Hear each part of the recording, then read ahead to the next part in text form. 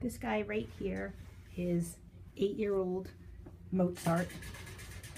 Mozart here was adopted several years ago from Stray Cat Blues along with his mom, who is Symphony. And unfortunately, their person became ill and is no longer able to take care of either of them. So they were just recently returned to Stray Cat Blues.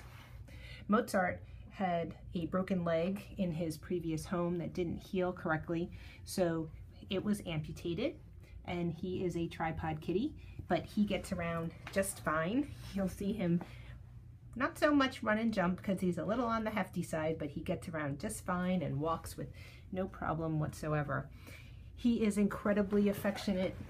He absolutely loves to be petted. He is uh, neutered. He's FIV and feline leukemic negative. He's litter box trained. He's up to date on all of his shots. And he would love to be adopted with his mom and get into a forever home. So come visit our little friend Mozart.